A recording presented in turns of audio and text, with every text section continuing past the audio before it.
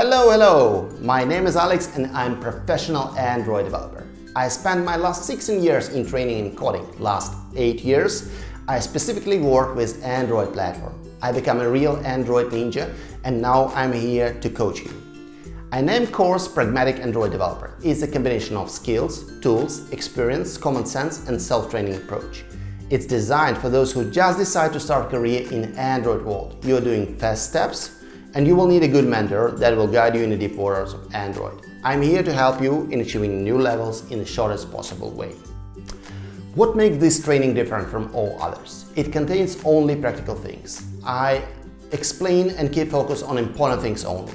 It's a business values, monetization, understanding of own users, dropping everything that is not needed or outdated. Uh, it contains a minimal theory. Before explaining everything, I will provide minimalistic scope so you will know what I'm talking about. I will keep it short so you will never lose a focus on code and business needs. And it contains a path from idea to beta. So this is a practical course first of all. During it you will be build application from absolutely zero idea to the beta release. What you will learn during this training? It's a merge of four disciplines. It's Android operating system, software development, testing and post-production. In Android operating system, we will talk about um, activities, fragments, services, receivers, life cycles, layouts, resources, styling, push messages, animation, deep links, and many, many other things. In development, we will talk about architecture and patterns. So we will talk about MVP pattern, Dagger, RxJava, data binding, SQLite, Firebase, Gradle, support library, and many other things.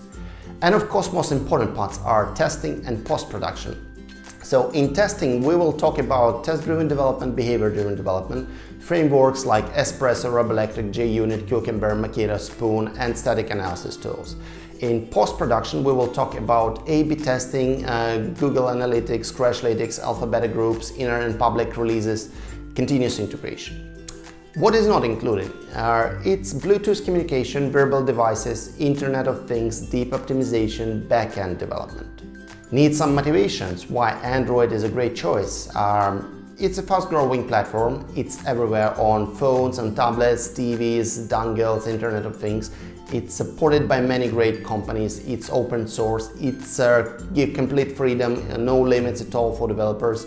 A lot of people contributing to it. So it's a great investment for the at least next five years.